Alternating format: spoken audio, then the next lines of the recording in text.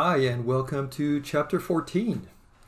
Uh, in this chapter, your author is uh, kind of splitting the four P's. For those of you who remember them from Business 10, uh, in the four functions of management, uh, marketing, or uh, also known the marketing mix.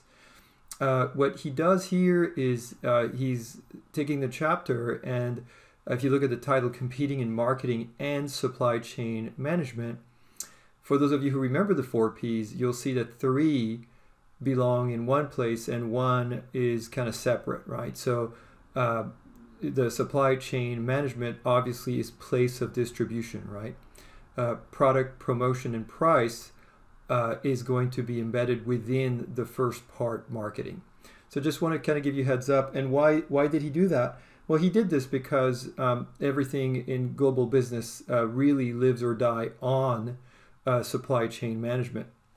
And so that that's uh, such a critical aspect of uh, trade that, of course, it, it has its own emphasis. All right, let's uh, go with the learning outcomes to get going. Uh, we'll look at the three of the four P's in marketing. Uh, and then we'll look at the fourth P and how it's evolved to be labeled supply chain management. We'll look at the triple A's, agility, adaptability, and alignment in supply chain management, how institution and resources affect marketing and supply chain management, and then the uh, implications for action. Uh, your author has a really cool um, case study here on page 221. Uh, I want I want to make sure you read it. In fact, you should read it before the next slide. That way you'll appreciate the next slide more. So if you haven't read it, do it now. It's the uh, opening case marketing Aflac in the US and Japan. Read it and then watch the next slide. All right, hopefully you have read now the, the uh, opening case. I want to show you the very first Aflac uh, ad in the United States so that you can see, uh, and of course there's, there's an obvious reason as to why this ad takes place in a park. Now that you've read the case, it probably makes a lot of sense. So um, go ahead and watch this one first.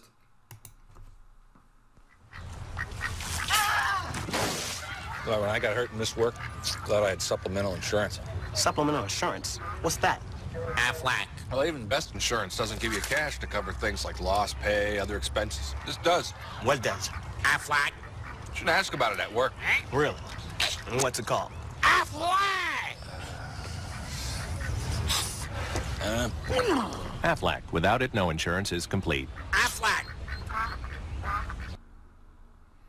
So now that you saw this, um, you understand that, of course, um, that didn't work out too well in Japan without adaptation. And so now here's the Japanese clip uh, introducing Aflac uh, with the cat, which is, um, as you read, uh, that uh, very important symbol in Japan.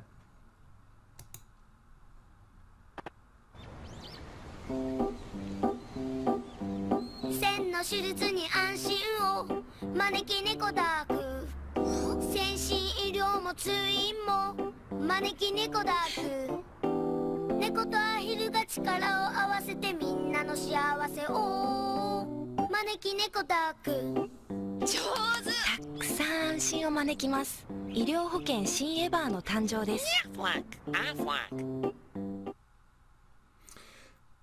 not quite the same vibe, but uh, this is, I mean, as you read, uh, of course, now you understand why it worked in both markets and how, uh, when you look at uh, adaptation, uh, obviously, uh, this is a case for adaptation. All right, let's move along to our first slide here on marketing. marketing efforts to create, develop, and defend markets that satisfy the needs and wants of individual and business customers. So you'll see that, of course, the definition here uh, is modified for, for the context of global business. Uh, the supply chain is the flow of product, services, finances, and information. It passes through a set of identities from a source to the customer. And as we know, and we've talked about before, and I know for those of you who've taken other classes with me, uh, we talk about the significance of supply chain management and supply chain here in the Inland Empire. where uh, again I know you you've heard me say this before, but one out of every four jobs in the Inland Empire is tied to logistics, uh, warehousing, distribution, uh, supply chain activities. Uh, so very very important for us here in the Inland Empire. Uh, and uh, the four P's, pretty straight. Oops, pretty straightforward here. Uh, so remember that uh, the four P's were, were created as what was called the marketing mix. And it's, it's called the marketing mix because to explain marketing and to understand marketing, you would have to treat it like a recipe. And if a recipe calls for four ingredients to make whatever it is you're making, then you can't have three, you can't have two, you need all four. And so it's called the marketing mix for that specific reason. Um, and uh, the you know, the product is uh, the first one here listed. Uh, obviously, refers to the offering that the customer purchases, and so it could be a, a tangible, it could be intangible. Uh, in the context of this class, what you want to make sure you understand when you look at product is again kind of going back to the example even of uh, of, uh, of just the ad for Aflac, standardization versus localization to what extent do you want to standardize the product? Ideally, you would want one size fits all because you could reach scale, right? Uh, remember economies of scale or scalability. Every time your scale increases, your per unit cost goes down.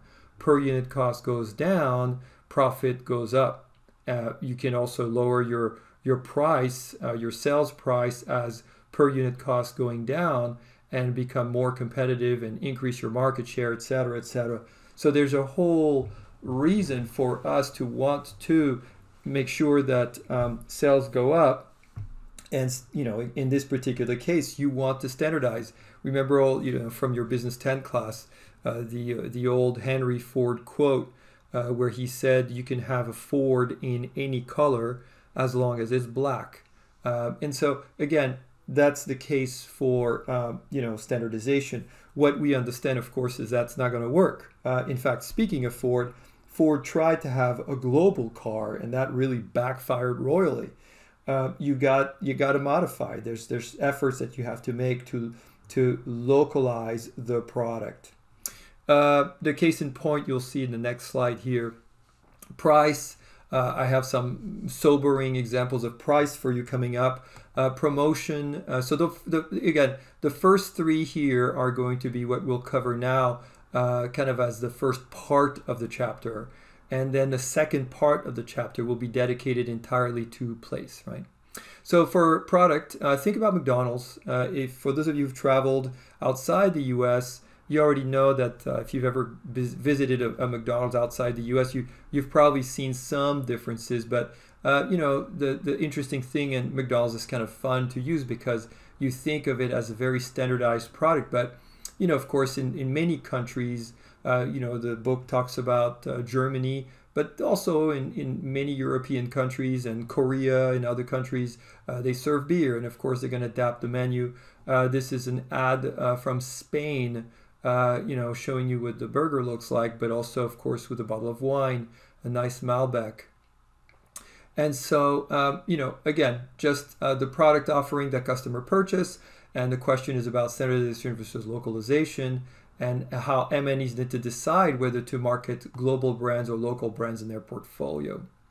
Remember, adapt or die. That was the theme of your Business 10 class for those of you who took it with me. The entire book is dedicated to adapt or die. Adapt.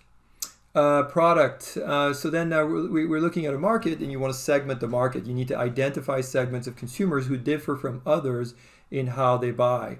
And so here, uh, in the context of this class and in the context of this uh, segmentation effort, you can look at um, one globally useful way of segmentation is to divide consumers in four categories. So you got the global citizens. So these are uh, your consumers who are in favor of buying global brands that signal prestige and cachet.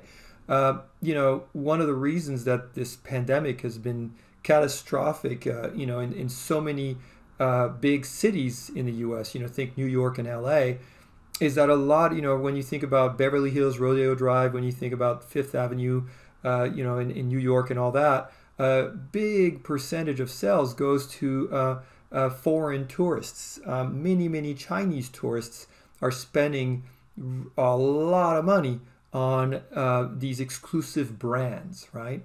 And and that when they go back to China uh, signifies prestige. So the, true global citizens.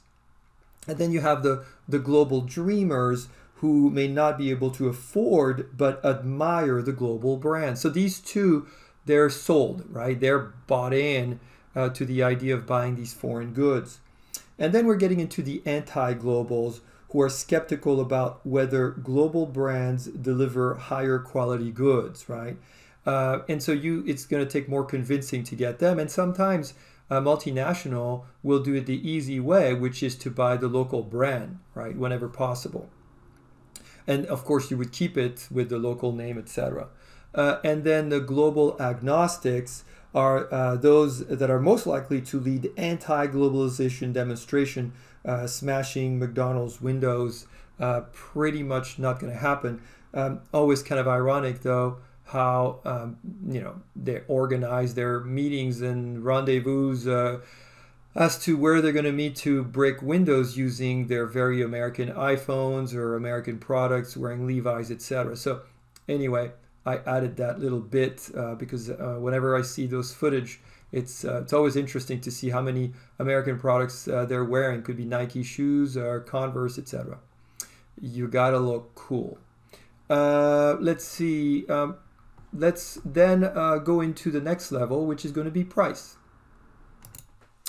And so, of course, price is critical when you think about price. Um, think about what you buy, and uh, think about. In fact, uh, you know, in my in my business 10 class, when we get into the marketing chapter, I was I always like to ask how many of you were accepted to a directly to a four year school fresh out of high school, but chose to go to a community college. And when asked as to why you made the decision, most students, many but most students, uh, always, of course, comment on price, right? And so uh, price is, is, is a very important component uh, in so many decisions that we make. Um, and so here you look at the expenditure that customers are willing to pay for a product. Um, you know, I obviously added this uh, little example here because I thought you would appreciate and could relate to it.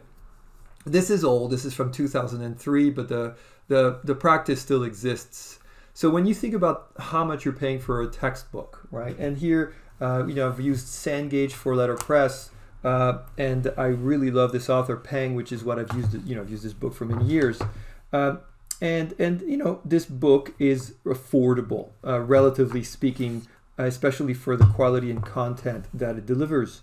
Um, there are other uh, great global business textbooks that are cost a couple hundred bucks. And so when you think about as a professor my decision to choose a book for you, uh, my number one consideration is actually price. Uh, because even if content is not quite what I want, I know I can always supplement. Uh, but what, what I've discovered, having taught for now, what, 25 years, is the the really um, you know again it's you know it's capitalism isn't it uh, but in terms of ethics, I'm not sure what it speaks of, uh, and how uh, publishers will publish the same book uh, in the United States as they do in Europe and Asia, in English, by the way, often, uh, with a you know sometimes half the price. So this is a this is a story here from 03 of students uh, from the New York Times finding hundred dollar textbooks cost 50 bucks uh, overseas, right? and, and in England, by the way, but it doesn't, you know, even outside of England. And so, why is that? And I remember when, when I when I discovered that, you know, several years ago, I asked a couple of uh, people who worked in the industry, and you know, the answer they had was what the market will bear. That was it. It's Econ 101. Uh, publishers charge what the market will bear, which basically means that uh, if students are going to be forced to spend 200 bucks for a book because that's what the professor wants them to buy and they need the class to get to the next level then they're going to have to find a way to spend 200 bucks on the book and so that those days are you know coming to an end um, now there's a there's a different there's a movement for zero cost which my business 10 class has zero cost textbooks Uh, eventually, one day there'll be a zero cost textbook, maybe for global, and maybe this author will be part of the movement. I hope. Uh, but until then, I, I know that uh, you'll have to pay.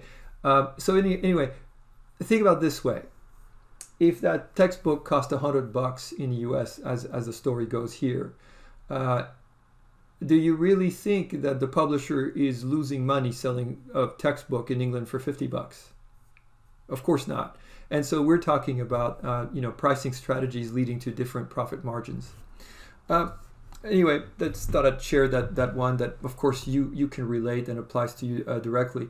Uh, the consumers are price sensitive, but in this case, uh, uh, you could say that the price is uh, often you know lacks elasticity. For those of you who remember you know elasticity from your econ class. Um, it's some things are more elastic than not. if you are diabetic and require insulin, and the price of insulin doubles, you're still going to buy it. You have no choice, right? And so we could say that insulin is not an elastic good. It doesn't have uh, price elasticity, it is inelastic. On the other hand, think about wants. You know, if uh, you, I don't know, soda, and soda goes, you know, or people who, you know, smoke, uh, or although maybe smoking is not a good example, uh, because maybe that will, you know, the addiction will call, cause in, inelasticity. Uh, but anyway, uh, things that you will not buy because uh, price there's a, there's a cap to the price. We saw that with fuel with gasoline uh, several years back when uh, you know a barrel of oil went up to about 160 bucks. All of a sudden, people found other ways. They were carpooling. They were doing things, and so it showed that even gasoline has a peak when it comes to uh, elasticity.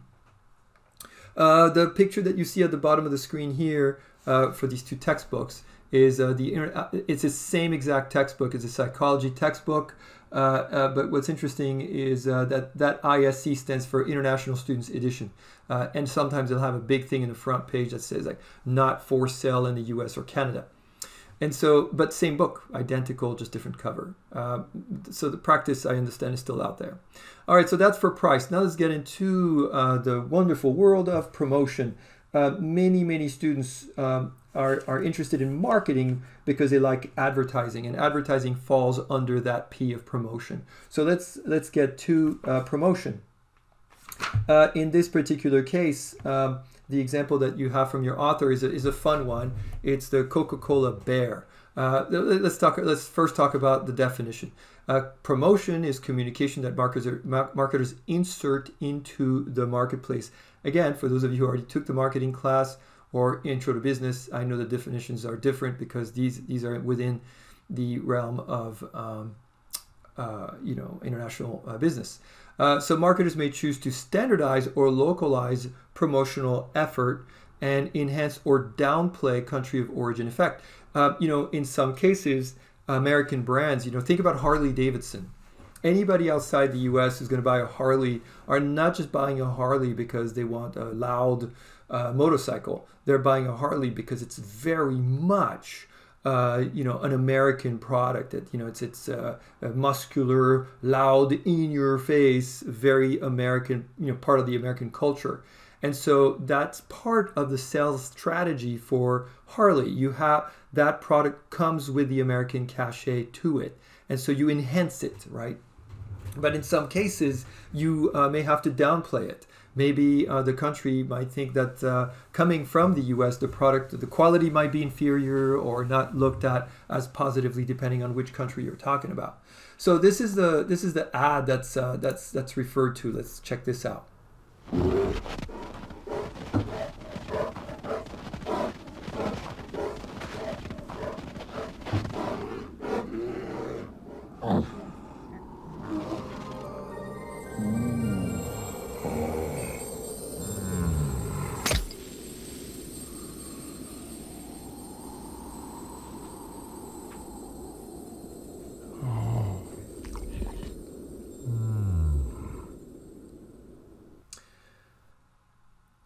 So Coca-Cola had these, uh, you know, very popular, very successful uh, ads uh, with the bear, the polar bear, as a campaign. Uh, and of course, what the bear signifies is, you know, Arctic region, very cold, etc. So cold, refreshing Coca-Cola. Um, the problem is that outside uh, in, of the West, um, it didn't resonate. People were confused. Why is there a polar bear here? It makes no sense. Uh, and so around the same time, Coca-Cola had to kind of pivot and find another way to convey uh, cold, to convey what they still wanted the meaning to be conveyed, but the polar bear was lost on the audience, so they had to find another way to get that message across. And so th- this first one here, this is an ad that you didn't see in the U.S. Um, but this is a, a, campaign that was extremely popular outside the US in many countries in, in Africa, uh, Latin America, and Asia. Um, and so here's one from Thailand.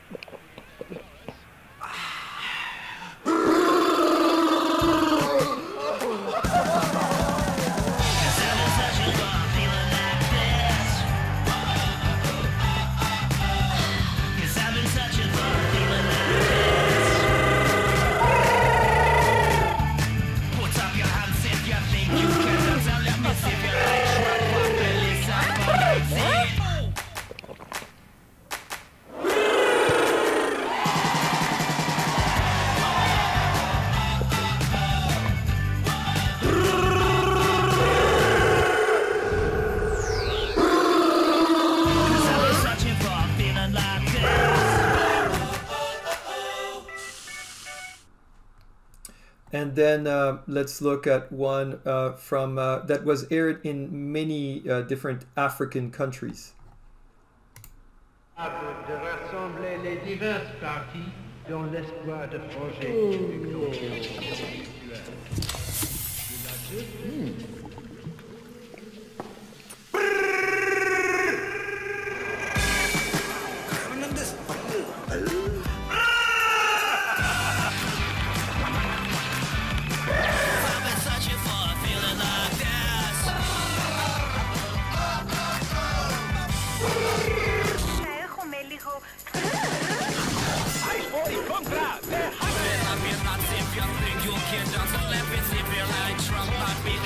no, no, no.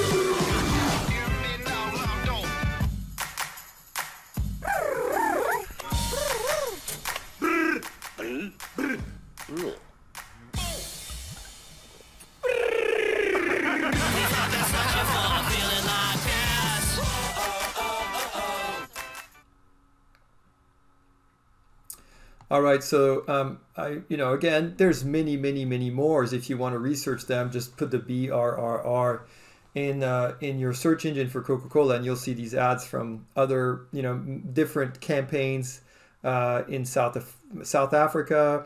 Uh, I know that uh, Nigeria also had its own campaign for a while, and that's just for Africa. The different campaigns there, um, but uh, no polar bear, obviously. But that around the same time uh, to convey, you know, uh, cold, refreshing, whatever.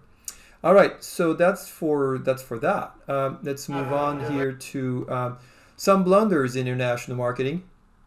Uh, and so, I mean, you know, I'll, I'll, you know, again, this one here was a, a, a doll that said uh, people thought they heard "kill mommy" uh, because I guess they didn't uh, speak Spanish. made in Hong Kong, and the they were initially designed for Latin American market, uh, Spanish speaking markets, uh, and the, the doll was really saying "Quiero mami," uh, and but I guess uh, people thought you know, "Kill mommy" probably not a great gift uh, to give to someone, uh, unless maybe a gag gift. Um, anyway, um, AT&T in Thailand. Uh, to cell phone equipment, uh, decide, despite great technology, rejected because Thailand required 10-year warranty and uh, AT&T only offered a five year. Uh, Japan's Olympia tried to market a photocopier in Latin America called uh, Roto, uh, which of course means broken in Spanish. Um, Chinese exporters, uh, White Elephant brand battery. Uh, my favorite is the Maxi Puke. uh, right? Uh, in, in, which were uh, uh, poker cards. I'd love to get my hands on some of those. But so anyway, what you learn in in global too is this concept of back translation. I think we've talked about it before. I, I, what you do is is whatever campaign you have. domestically, if you are thinking about exporting this campaign, you need to have someone from uh, the other office, the the the the, the uh, division where you're going to be doing this, uh, look and review your ad and then translate it back to them in English. And that you might find that there's something you had not considered. Uh, it could be colloquialism, it could be something else. So back translation is is is really uh, absolutely required and it's amazing that some of these companies still make mistakes, uh, even today, even recently, uh, because they're not doing that. All right, place. Let's go to uh, uh place, which is again, like I told you, uh, this is the biggie now. This is we're getting to part two of the chapter. Location where products and services are provided, uh, referred to as a distribution channel. Uh, and the distribution channel is a set of uh, firms facilitating the movement of goods from producers to consumers. Um, let me share something with you uh, here uh, from um, the uh, Inland Empire chief economist. So this is johnhusing.com. Uh, John Husing is a chief economist for the Inland Empire. Um, and if you click on QER here, you'll get the latest economic report. Uh, and I know bear with me, uh, but this there's a reason for me to share this with you. Um, and so uh, what what I want to show, it's got a lot of data about sales. In fact, I was I found it fascinating that uh, to, see which which areas the sales have gone up uh, the most in in um, in, in real estate for existing homes, etc. Uh, and, and so, uh, anyway, that's not why I'm showing you this, but just if you wanted to peruse this thing with your family, there's lots of interesting data. Um, let's see, why am I showing you this? This is it right here. If you look at growth in the Inland Empire going from 2011 uh, to 2020 estimate, uh, there are two growth areas. And if you look at the number one, uh, area of growth, it's logistics. Remember what I was telling you earlier one of every four jobs. Federal and states, another one. Uh, and of course, restaurants have been completely decimated by this COVID thing, retail, etc. So, you know, and look at the numbers 33,700. These are net numbers. Um, and so, you know, this is just to kind of show you uh, the significance of, in this particular case, logistics. Uh, while I'm at it, I might as well show you this highest share associates of or higher degrees. Uh, when you look at uh, at the Inland Empire, we we got room for improvement. Uh, you know, LA is at 40% of LA has um, uh, a uh, associates or higher as a degree. And so think about what that means. LA County, 60% of the population does not have a college degree. Rancho, we're at 46%. Uh, so there, you know, you're in the right place at the right time. You know, keep your education moving, uh, get get it done, and and get a degree that pays. Uh, look at that. San Bernardino Mountains is where people have been. You know, the most activity in real estate has been uh, San Bernardino Mountains with 87% increase. Everybody's getting out of the city during COVID, and they're buying mountains in the in the hills uh, in you know Wrightwood. all right, so that's my little way of again letting you know that this boring little chapter on supply chain, which a lot of times people think like, oh, distribution, trucks, I get it, I get it. Uh, because we live in the Inland Empire, this is a critical chapter for you. Uh, somehow you're tied to that economy somehow. And as I said at the very beginning of this class, uh, global business, you know, without global business, there is no economy in the Inland Empire. Just remember that without trade. If you take away trade, you take away a quarter of everything in the inland economy, inland empire economy, which dominoes into everything else, right? If we have warehouses, if we have trucks, it's not just because of trade, it's because of trade with Asia, namely with China. And by the way, it's not exports, it's imports. all these jobs we have in the Inland Empire is because Americans are hungry for Chinese goods because of costs. And so, and because of sophistic, sophistication, not just cost, uh, people think cheap stuff from China. Just remember your, your, your favorite items, your smartphones, are most likely made in China. All right, uh, this is a cool scene. I love this scene. It's from uh, Castaway. It's the beginning of the movie, and it's kind of a glimpse as to uh, logistics turbo mode. Just watch.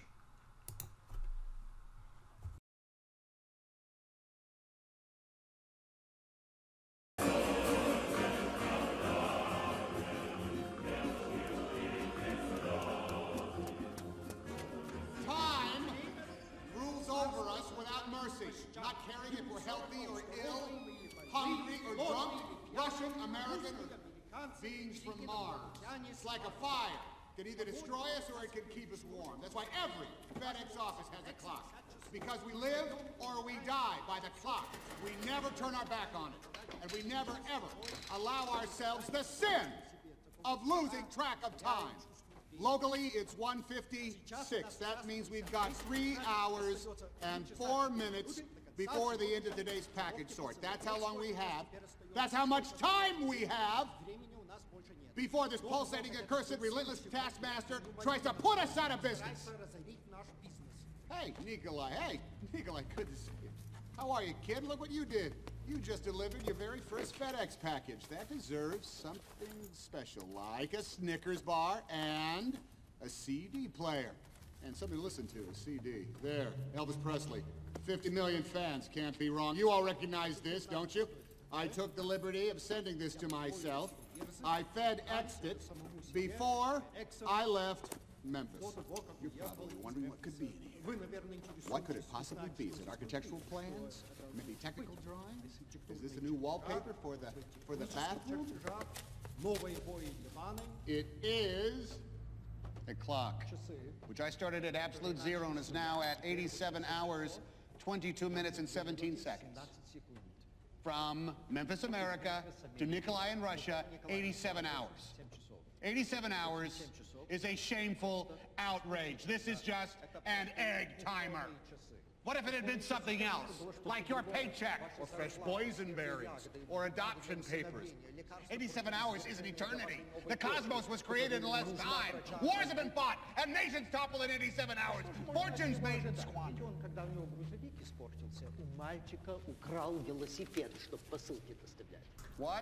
All right. Um, I want to show you one more thing since we're talking about this. I, I again love that movie. I'm just uh, just uh, and this is such a great opening. If you haven't seen it, I think it might actually uh, make you feel better about uh, this whole COVID thing. Uh, you think you have it bad? Just watch this movie. It'll make you rethink uh, how lucky we are. And um, and let me show you one more thing. Um, even the book talks about FedEx, and there's always a lot. Um, there's a, you know, in fact, on page 226, uh, there's the case here for FedEx, etc. Um, I, I want to just kind of bring something to your attention. So this is an old article, it's from 2014, uh, but still, my understanding is that uh, this is the the real the real global leader. Um, it, the brands we're most familiar in the U.S. are FedEx uh, and uh, DHL, uh, but uh, the real I'm sorry, FedEx and UPS, but the real global leader is this company uh, DHL, right? Uh, so I mean, look at this for the market share. Again, I know this is outdated.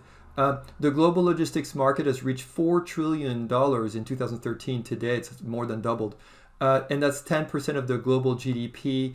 Um, in terms of time definite international shipping, uh, DHL is the global leader in logistics uh, with, uh, you know, about a third really of the market share. My understanding is still there. And if you look at regions in the Americas, yes, FedEx is number one, UPS is number two, and DHL is number three. This is why we're so familiar with FedEx and UPS.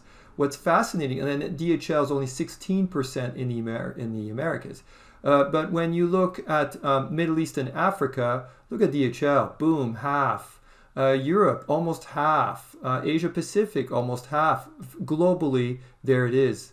Uh, so FedEx is still trailing. It's been trying, but um, uh, DHL has been really entrenched, and it was um, one of the first to really figure out the last mile. Um, and the book talks about what that is, the last mile. All right, so now the supply chain management, you have your supply network that feeds into producer manufacturer, that feeds into the distribution network that leads to your customer. It could be retail or it could be uh, wholesale. Uh, I mean, you know, uh, for, for business purposes. Uh, let's get into the AAA in supply chain management. That's on page 26. First A is agility. Uh, ability to react quickly to unexpected shifts in supply and demand. Then you have adaptability, uh, ability to change supply chain configuration in response to long term changes in environment and technology. Enhancing adaptability involves making a series of make or buy decision. Uh, we talked about make or buy decision before, but here it is again decision on whether to produce in house or the outcome. Um, and if you think about, you know, this pandemic has been, you know, the book talks about these other things that have happened in the past. Uh, you know, uh, swine flu, all that stuff, natural disasters, uh, earthquakes, all that. Uh, you know, we have the mother of all interruptions here uh, with the COVID pandemic. And it's been fascinating to see uh, what companies have been able to maintain their network. I mean, you know, who would have thought? Who would have thought that in this century, Americans would actually run out of toilet paper. Think about that for a second. No matter what the demand is, uh, that you know people are you know shelves went empty, right? And so that speaks volume of uh, again agility and adaptability. And uh, my understanding is we're still uh, having issues now. We have a second wave of shortage uh, for you know household cleaning supplies and toilet paper, etc. Uh, and so moving along here uh, with the uh, uh AAAs uh, requires monitoring and understanding of geopolitical, social, and technological trends. And then you have alignment, alignment of interests in various players. Alignment's a big deal. Um, players should effectively coordinate to achieve desirable outcomes. So here's a little case in point from your author, and I decided to kind of expand on it. Uh, he reminds us that 70% of Boeing Dreamliner's components are, is outsourced, right? So again, it's just astounding, right? 30% of a Boeing is made by Boeing. Think about it that way. And 70% is outsourced. And then in terms of country of origin, here's a clip here for the Dreamliner showing you uh, what countries are, are involved. It's a true marvel of globalization, this thing. And by the way, uh, the same applies to Airbus. Uh, the key element here is power and trust. I mean, if you don't if you don't give uh, power and trust to your uh, partners, uh, this is not going to work out. Powerful players facilitate legitimacy and efficiency of the whole supply chain. there is a fantastic example from your author on page 227 of the fashion house Zara uh, Z A R A. Um, I, I really uh, hope that you read it. It's about fast fashion, but it's more important than fast fashion.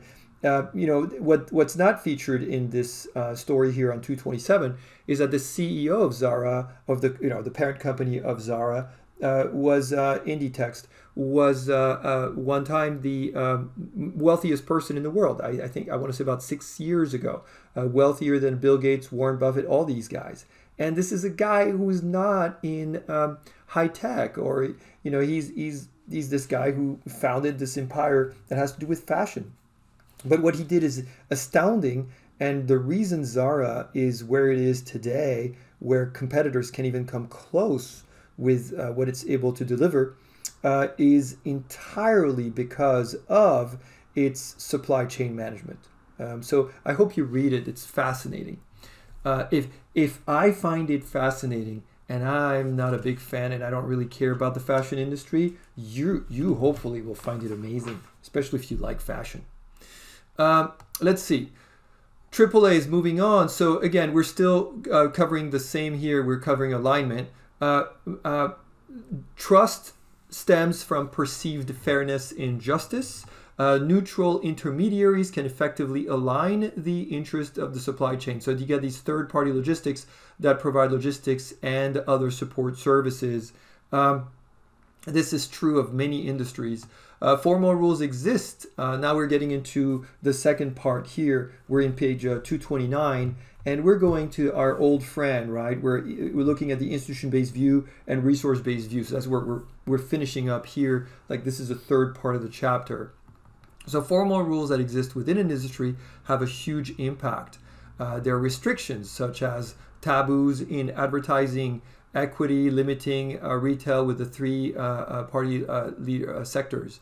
the informal rules, differences in cultures, language, norms need to be considered. Um, you know the the case here that your author makes. there again, this debate on page 230 with IKEA. Marketing in Saudi Arabia. And uh, IKEA made a controversial move of excluding women from its catalogs and airbrushing them out. Um, and it did it to respect the market, the local market. You know, we're going back to adaptation. But the shareholders, uh, you know, in, in Sweden uh, were very upset that it did that. So who do you please? Do you please the people in the market you're operating and you're adapting? Or do you please the people back home uh, who are you know upset that you've airbrushed women out of the catalogs so that you could adapt to the market. It's a great opener. Uh, let's see. So informal rules. Uh, again, I just covered that. Uh, the advertising in online media adds value. Uh, again, the VRIO. Remember that. Uh, the for our rarity in marketing and supply chain activities need to be assessed. Here, I know we talked about it before, but I always go back to Michael Dell and Dell Dell is just such an outlier. It's such an exception. It's phenomenal. I know when you think of Dell, you do not get you don't get excited. We get excited over Apple, uh, but what Dell has done, uh, it's kept things in house. Dell makes its own computers still. It's phenomenal. It's profitable and is breaking rules by making its own computers. Uh, whereas you know Apple is outsourcing to Foxconn, right? So Foxconn, big manufacturer in China. I think we talked about them. Uh, the second one is inimitability, right? Western multinational enterprises are careful while outsourcing processes and strengthening customer loyalty. You know, Foxconn is a giant. It's almost impossible for, you know, when you think about the companies that manufacture at Foxconn. Uh, my kid's PS4 uh, a lot of the video games, uh, of course, Apple products, uh, and then the organization itself. Uh, in this particular case, you know, I talked about rarity, but even go back to organization when it comes uh, to the um, uh, example of Dell, right? Marketing and sales functions should work together to accomplish organizational objectives. This is a big deal because marketing and sales function uh, in, in different companies, and in fact, this is highlighted here with your author, um, very, very often they're, they're different parts of the organization and they're almost combative. So you have the marketing department, you know, composed of people who are, you know, more, you know, more educated, studied marketing, market research, etc. Sales, not always. Sales, sometimes people work their way up, and you're a good salesperson. You don't maybe have the same. So the the author talks about salespeople being more street smarts, right? And so what happens is that uh, if the organization is not careful and these two departments are separate and operate in silos, they start to blame each other for low sales, right?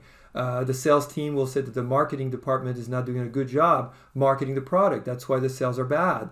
And of course, the marketing department will say, well, these salespeople suck. And so uh, the example given by your author here is with IBM, uh, where what they did is they merged the two teams as one division called the channel enablement and uh, and they work in concert right? And so that's hard to imitate now. Uh, companies that are not doing that are finding that uh, they're they're they have that challenge. So there we go. So that's that's what that looks like. We just covered everything here uh, in terms of that affecting your marketing and supply chain management. What's the implication for action First, know the formals and informal rules of the game on marketing and supply chain management inside out. There are lots and lots of examples that the author gave you, you know, gave us here. Some really cool examples. Uh, I can't believe I said cool examples referring to 7-Eleven, but yes, some really interesting and cool examples about uh, you know 7-Eleven in Japan and how insane uh, it is, uh, you know, and, and, and the stakes are really, really high if you're operating in uh, logistics in Japan and to see what the requirements are for 7 Eleven in terms of delivering stuff on time uh, compared to the US. Uh, in marketing, uh, focus on product, price, promotion, and place. Uh, four P's and, and do it all to avoid blunders. Uh, don't be too confident. Don't be too cocky. Make sure that you consider the local market. Again, we learned this from the IKEA example. Also, be mindful of not offending your home base. In supply chain management, focus on agility, adaptability, and alignment, the triple A's. And that's it for that chapter. By the way, there's a really cool closing case uh, from your author of, uh, you know, this uh, uh, uh number one is an online shop number one in China and how the company is now, uh, got, you know, gotten so big that it got the, you know, in fact, Walmart bought a big chunk of it and then ended up, you know, selling it to another uh, uh, to the second largest uh, company in distribution in, in China, which is JD.com, right behind Alibaba. Um, very very interesting case. all right. by the way, why is it an interesting case? Because in this particular case, the founder of the company is uh, someone who uh, had uh, who was in the U.S. in Texas, working for logistics and distribution for an American company and then was able to kind of translate that in China. Very interesting case. All right, folks, uh, same as always, make sure you get all your key terms out of the way. We covered everything, uh, your summaries, make sure you get them out of the way. And that is going to conclude this chapter. See you next time.